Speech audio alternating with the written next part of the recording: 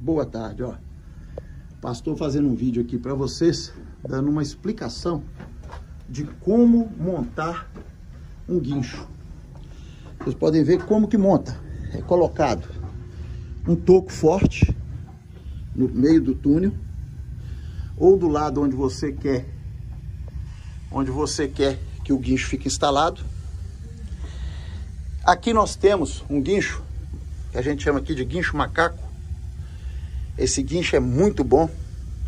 Eu prefiro esse guincho do que o guincho que tem controle eletrônico nele. Esse aqui é um guincho que gasta pouca luz e muito seguro, tá? A gente gosta muito desse guincho.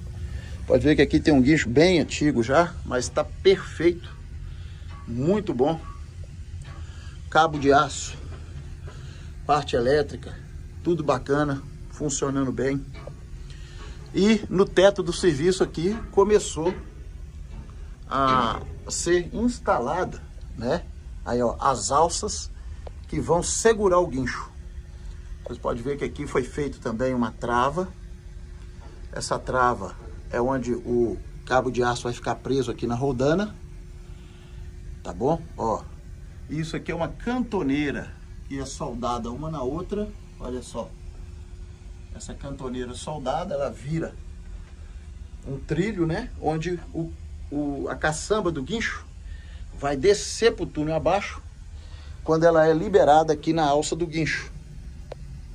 A caçamba tem uma aqui, ó, bem pertinho de nós aqui. E essa caçamba é uma benção, ó. Ela é liberada aqui do nosso lado colocada aqui no, no pino de levar. E aí ela vai descer lá para buscar a terra, tá certo? Quando enche lá, os meninos bate, bate na, na, no trilho, o guincheiro aqui já sabe que tá na hora de puxar a caçamba que vai bater a terra aqui e daqui a terra vai embora para fora. Beleza, pessoal? Então é isso aí, mostrando para vocês acerca do guincho. Quero pedir vocês para deixar um like, compartilhar tá aí. Aqui vocês podem ver o furo que eu falei, que é feito, para poder liberar o ar aqui dentro, para que a pessoa né, tenha condição de respirar normalmente, tranquilo. E aqui nós já vamos saindo do túnel. Aqui já tem um xisto avermelhado. Ó. E eu quero pedir vocês para deixar um like, tá?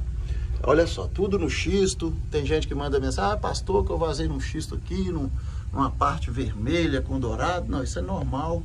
Tem xisto de várias cores, tem xisto cinza, prata, dourado, preto, esverdeado, tem xisto azulado. Então, assim, cada composição de terra é de uma forma, e aí, à medida que você vai trabalhando, você tem que seguir até você cair dentro do corpo do pigmatito, que é onde você vai conseguir tirar suas pedras, beleza?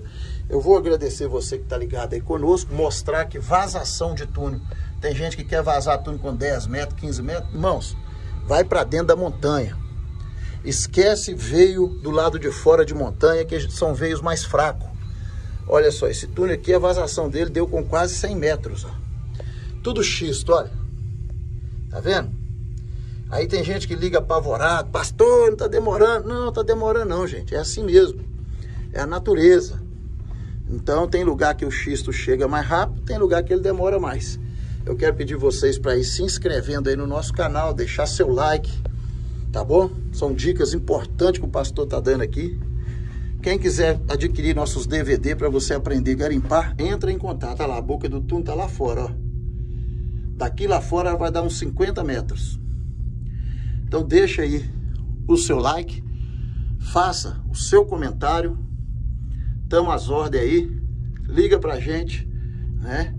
Olha também nosso site, olha aí o nosso Instagram, que é o Beatriz Pedras Lapidadas, Gilberto Gil Garimpo. Entre em contato com a gente, tá bom? E nós temos também o projeto GG Paraíba. É só você entrar em contato que vai ser um prazer receber você aí dentro do nosso grupo de garimpeiros lá da Lavra, parceiros, né? Então que Deus abençoe. Até o próximo vídeo. Tamo junto, vamos encerrar a filmagem aqui. Eu quero pedir vocês para não deixar de compartilhar, ok?